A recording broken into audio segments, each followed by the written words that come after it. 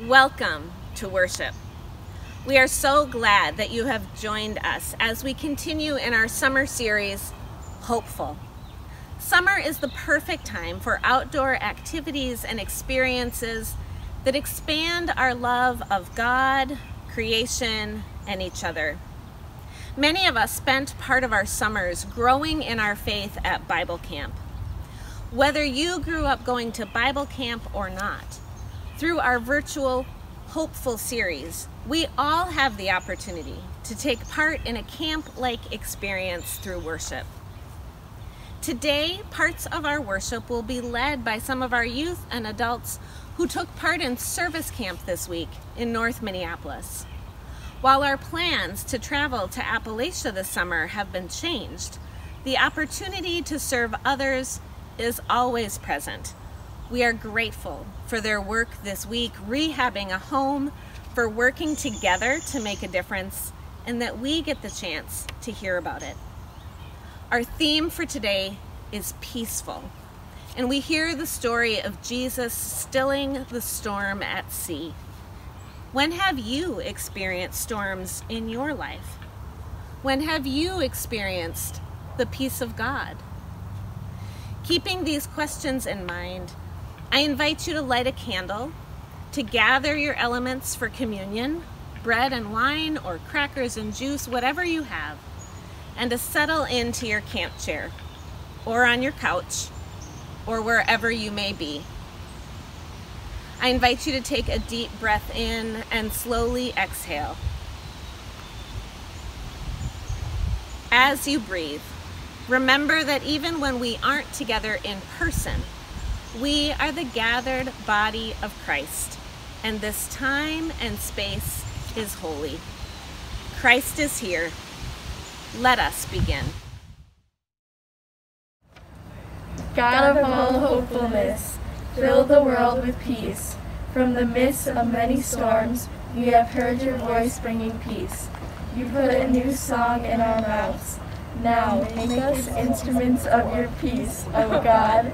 You have done great things for us, and holy is your name. Amen.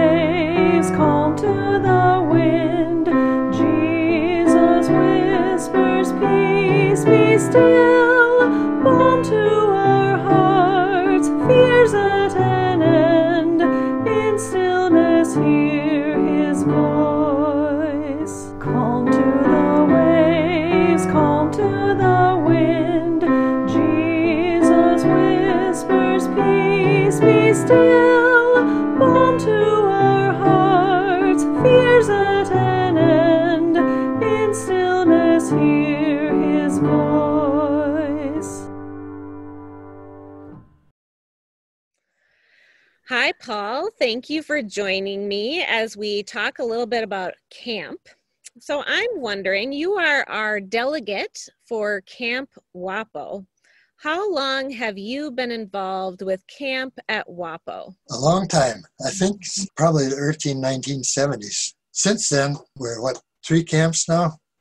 Uh, yep. Camp WAPO, two other camps, yep. Wilderness Canoe Base, and uh, the one out in the woods. And uh, yep. And since that time, we bought Wilderness Canoe Base during the time I was there, okay. which at that time was organized and owned by uh, Plymouth Christian Youth Center. Okay. We built uh, two new buildings since then, Anderson Hall and uh, Crossfire. Since mm-hmm. a lot of things have happened in those years. Absolutely, a, a lot of changes have happened. Yep, camp keeps growing. Mm-hmm. What's special about Camp WAPO to you, Paul? I like when I'm there uh, at different times. It is fun to see all the kids uh, making new friends, mm-hmm. having a great time in the lunchroom, and getting around. What difference did camp make for you and your family? I think it made quite a difference when they came home from camp and shared their experiences at camp and and the, the studies they went through and and different things how they made made their friends and mm-hmm. had fun, a lot of fun and uh, different games and, uh, and the waterfront activities and ropes course and yeah. things like yeah. that. Yeah, powerful experiences for your kids. Yes, I think all four of them went to camp at one time or another. And Andrea went to uh, Wilderness Canoe Base, and I think uh, Betchen Oberdorfer was her leader at that time. Oh, that's yeah, that's wonderful. Tell me about your experience of camp as an adult. Well, my wife, uh, Carol, and I would go to there. I think we went uh, two or three times, and uh, we'd have some Bible studies there, and they had tours on the bus mm-hmm. out to some of the uh, historic churches in Wisconsin and Minnesota also. Yeah, I didn't. Paul was telling me about um, fall retreats for adults at camp, and I hadn't heard some of those stories. So it's fun to hear about all the ways that camp um, serves people of all ages and year round too. And I believe they have other organizations that come in also at different times of the year. It's a beautiful place. Um, and we're so grateful for all of your service as a delegate, um, keeping those connections alive between Camp WAPO and Prince of Peace. So thank you very much um, for all of your experience with that. So, Paul and I are going to lead us in our confession and forgiveness today.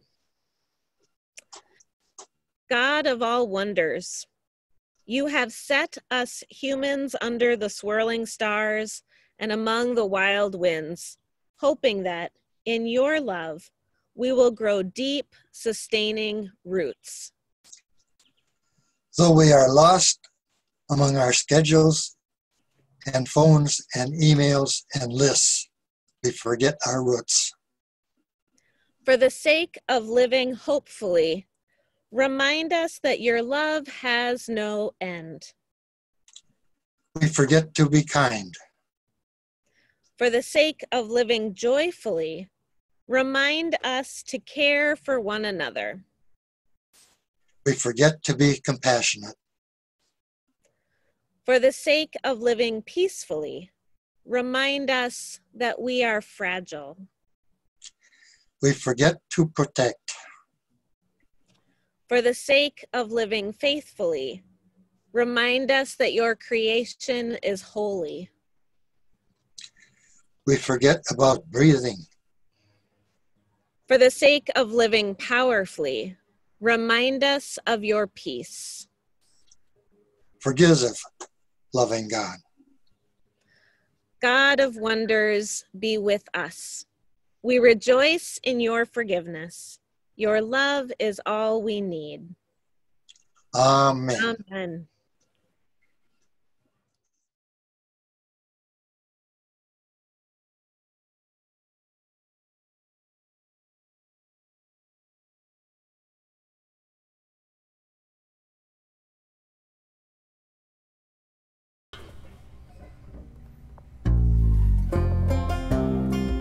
be a voice of hope.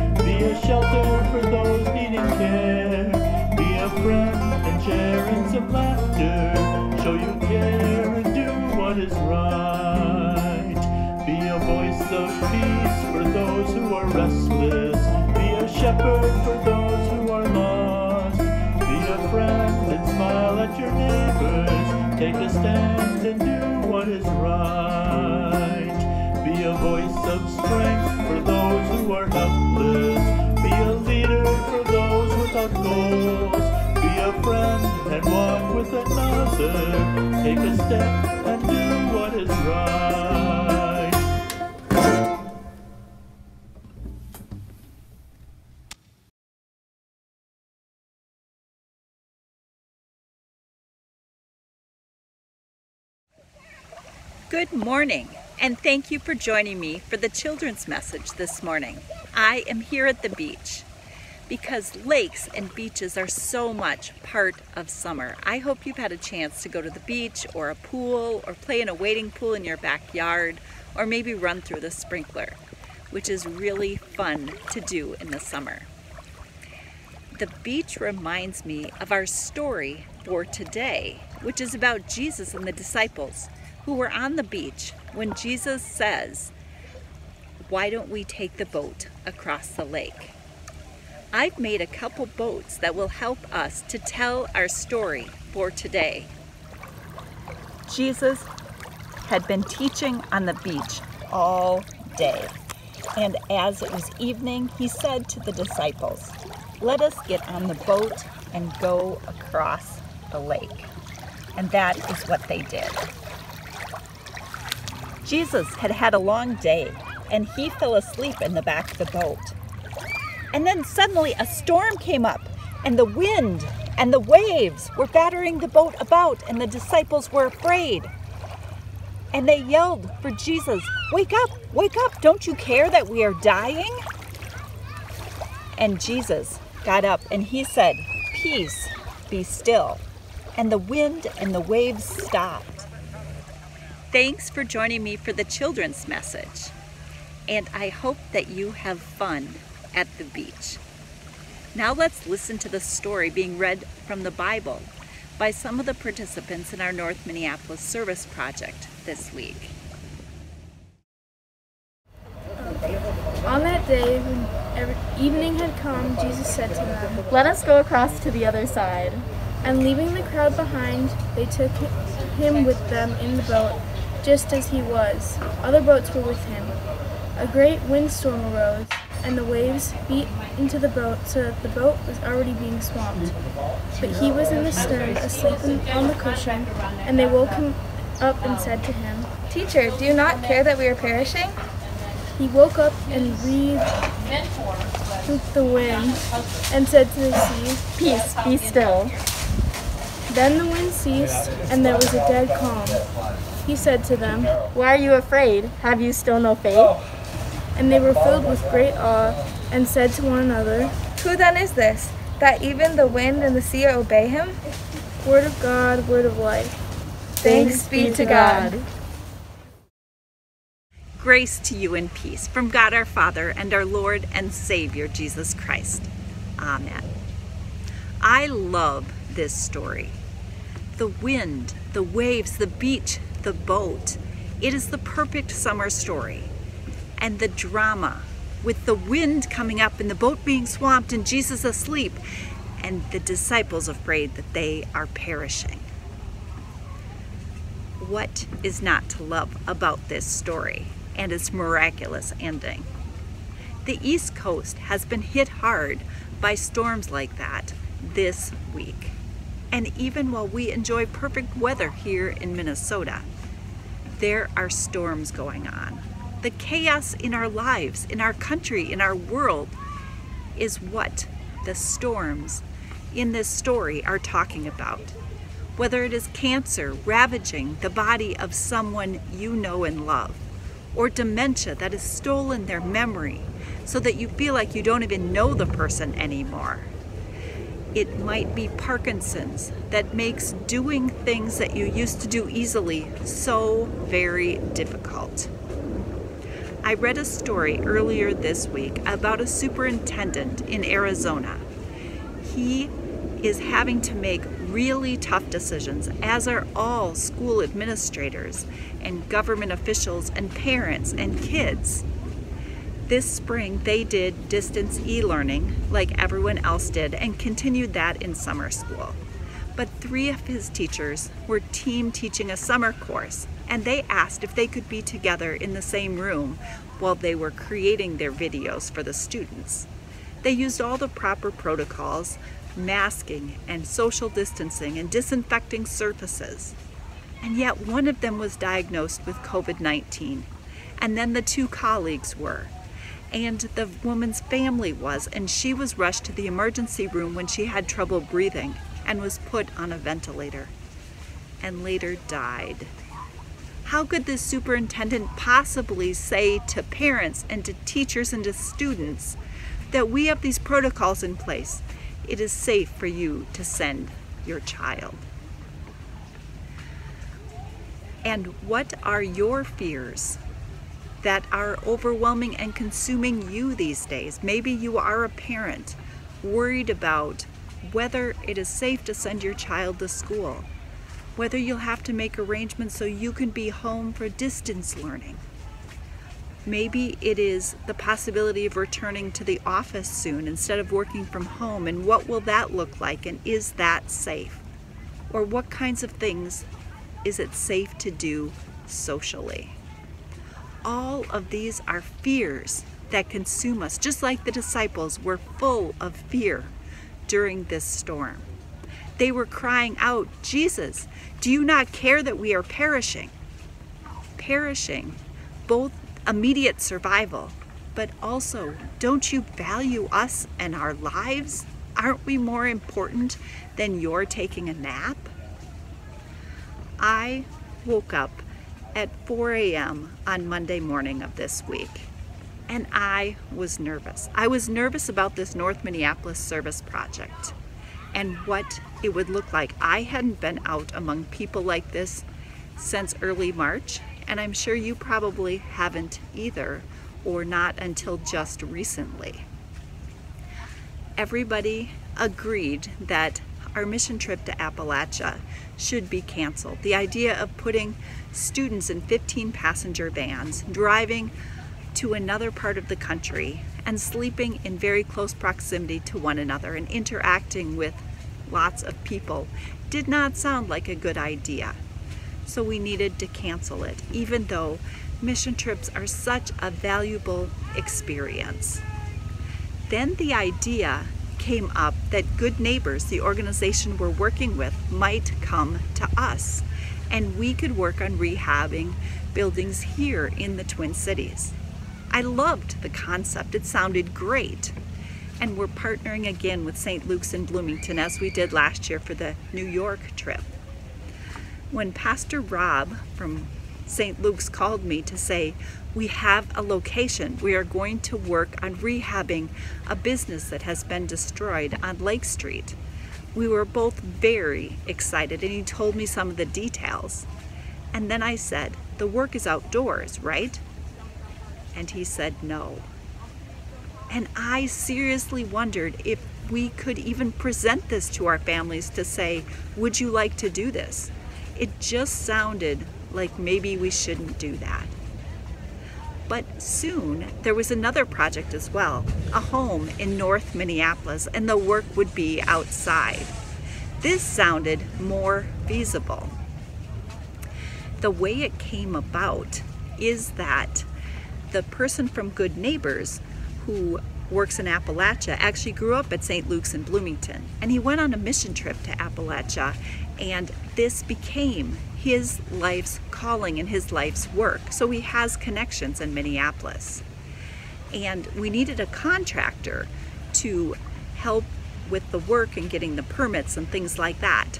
And a contractor who had been a previous youth was found. And this contractor knew of a woman who lived in North Minneapolis who was recently widowed who needed help with her house. Because you see, her husband, who died recently of a heart attack in January, had been a contractor and a mentor to this younger contractor. That is how we got connected with Jana in North Minneapolis. Her house was built in 1907 and needed lots of work. Her son had been exposed to COVID, so he couldn't even come over and help her with the yard. And because of physical health issues, she couldn't do these things herself. So the Good Neighbors team, including our group from Prince of Peace, set out to do yard work and landscaping, build new front steps, fix plaster, do painting, um, and put in new windows. Our team's role was the outdoor portion of the work. Each day we would have lunch and devotions and the homeowner would join us and shared much of her story in 2008 in that financial crisis, she and her husband lost their home to foreclosure. They moved to this house, which they rented from her mother in law and have subsequently inherited. Her husband worked hard as a contractor but was always working on other people's homes and never had the opportunity to get to theirs. Then, this spring, she discovered that a raccoon had gotten into the attic and chewed through the wiring. She was told that the house was unsafe, that she could not live there unless all the wiring was replaced, otherwise, the house would be condemned. So she spent her entire savings, $20,000 on the wiring, and that has been upgraded. But now she has no money left to do any of the other work. She thanked us profusely, saying that our coming to do this work on her home was a miracle. She had tears welling up in her eyes, and she said that we had inspired her that she has an elderly neighbor who she's known for a long time who cannot do a lot of things for herself. So she is volunteering one day a week to go over and do laundry and clean and get groceries for this neighbor. She said, because that is something that I can do.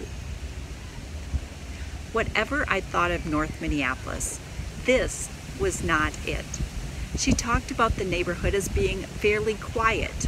All the neighbors know each other, and they look in on her and make sure that she is okay. She feels safe walking her dog in the neighborhood, and they've had the same mail carrier for years who knows everybody. The neighborhood is a mix of black, white, Hmong, and Latino neighbors. She happens to be Caucasian. And as it turns out, she grew up about three quarters of a mile from where I grew up. And she went to the Catholic church and school right across the street from the church where I grew up. She works part time at a gas station, which is on Highway 96 and Hodgson Road in Shoreview. We learned so much this week. And like with mission trips, when you go far away, you feel like you get more than you're actually giving. The homeowner, Jana, had such a positive attitude and a calmness about her despite all that has happened to her. It reminds me of how Jesus said, Peace, be still. Think about what is it that you are fearful of?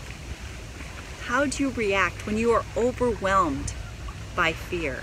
Why is it that fear consumes us? and seems to crowd out faith.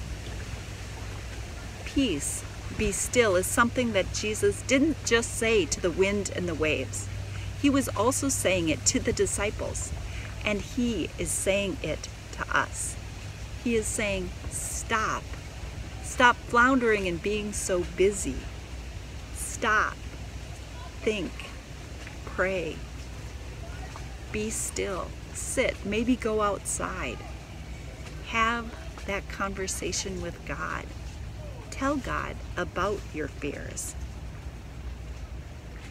Focus on what is going on in the moment. We can't stop all of the chaos going on in the world much as we want to. But we can cultivate this sense of calm in chaos that Jesus so wants for us. I would like to end as if we might if we were worshiping together outdoors at camp. Find a comfortable position, close your eyes, and listen to these words from Psalm 46:10. I will repeat them several times, pausing in between. Be still and know that I am God.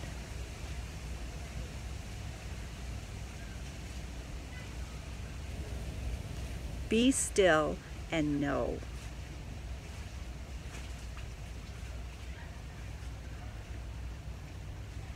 Be still.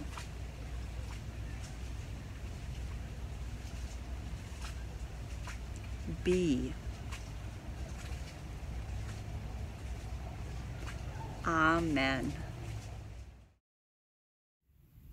Several weeks ago, Pastor Peter's daily devotion mentioned his time at Bible camp and that a common tradition was a bonfire at the end of the day. When I was in grade school, I went to Bible camp. It was Wall Camp in Illinois.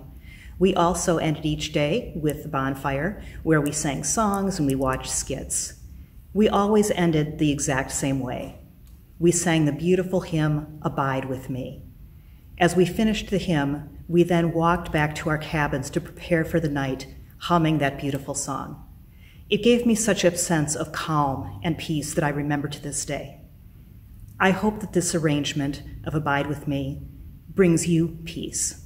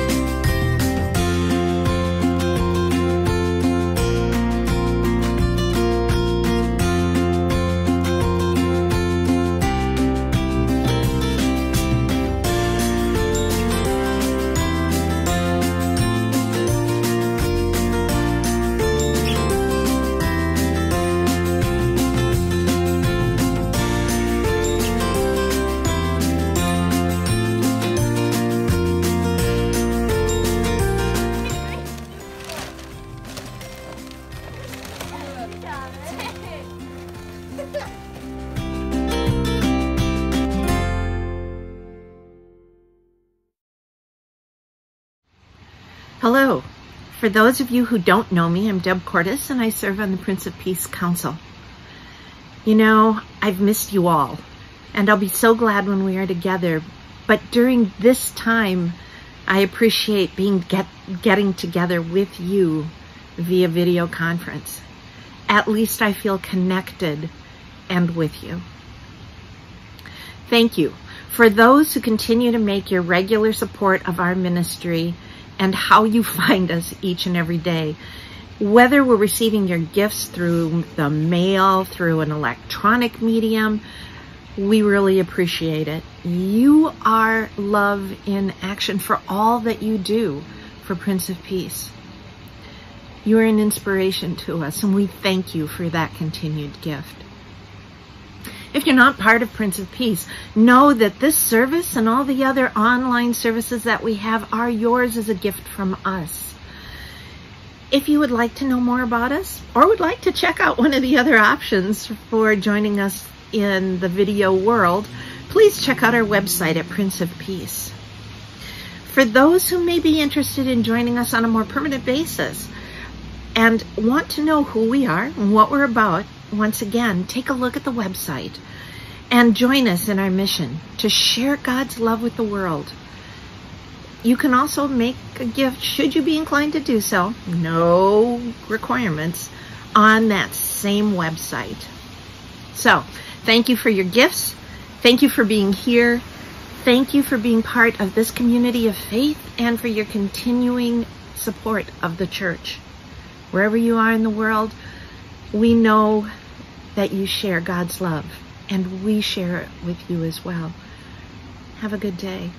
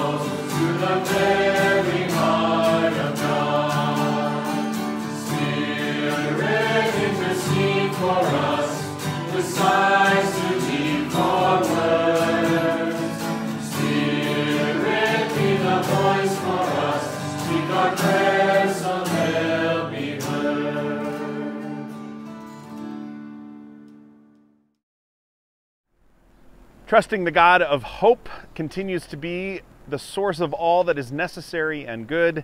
We pray for the outpouring of God's peace for the church, the world, and all who are in need. Bring peace into our work, God, as we struggle with the challenges and complexities of adapting to new and ever evolving realities in light of this continuing COVID 19 pandemic. Calm our spirits and make our efforts fruitful. Help us to restore peace to this creation within which you have placed us to be stewards and guardians. Give us the courage to change our destructive ways and open our eyes to the beauty that is all around.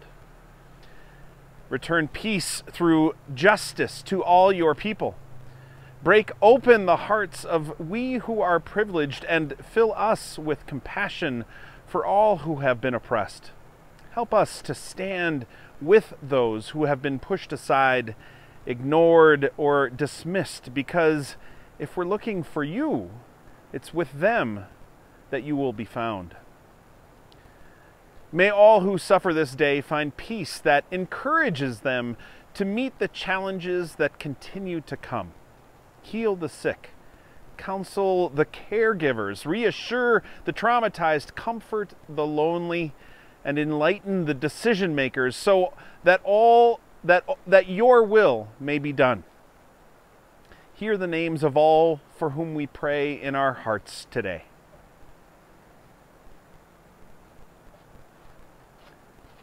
Deliver peace to all who mourn. May the saints of every time and place continue to witness to your saving power and inspire us to action in response to the unstoppable love that you offer.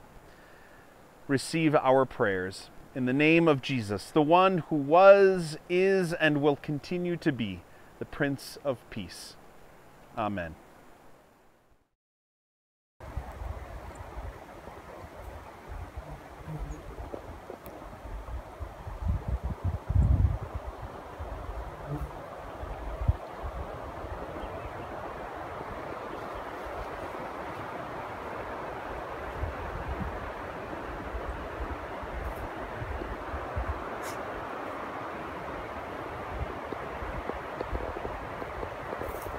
Here in the Christikon Meadow at the foot of the cross, we gather together to share in the Lord's Supper. On the night before he died, Jesus gathered together with his disciples and they shared a meal. During that meal, he took some bread, he gave thanks, and gave it to them to eat, saying, This is my body. Eat this and remember me.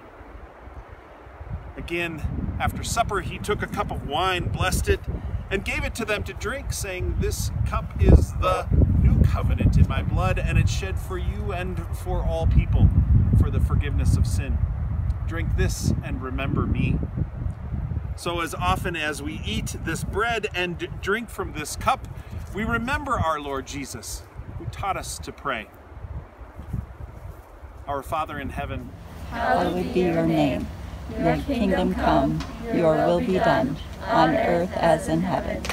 Give us today our daily bread, and forgive us our sins as we forgive those who sin against us. Save us from the time of trial, and deliver us from evil. For the kingdom, the power, and the glory are yours, now and forever. Amen. So, let's eat together. As you share in this meal with one another, take some of the bread and hear this. This is the body of Christ given for you. And then take the wine and know that this is the blood of Christ shed for you. Everything is ready. Let's eat.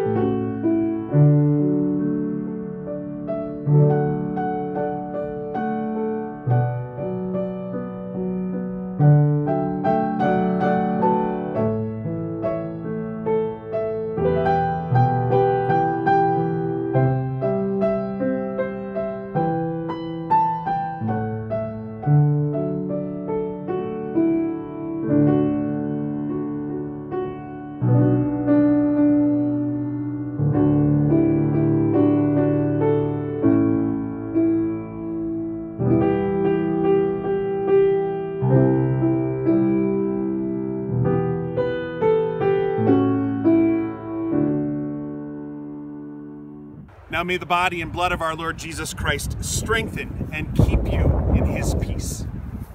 Amen. We are grateful for this time together today to hear the Word of God to share in the gifts of grace, to pray, and to be one with another. We hope this time of worship has been a gift to your day.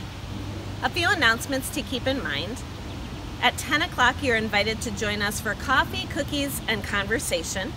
And at 11 o'clock, you're invited to join us for a short Zoom communion service. Both of those links can be found under the description of this video. Also, you're welcome to print off some coloring sheets that we have for our hopeful summer theme. They've been drawn by our own Michael Stetzler. This week you have the special opportunity of joining us for a drive-through art show on our hopeful theme. It's at Prince of Peace in the parking lot on Wednesday, August 12th. And Vacation Bible School, a summer tradition, this year will be VBS in a box. More information can be found in the links in your daily email and on our website. Now, receive the blessing. May the God of hope fill you with all joy and peace in believing, so that you may abound in hope by the power of the Holy Spirit. Amen. Filled by the Spirit, Go in peace. serve the Lord. Thanks be to God.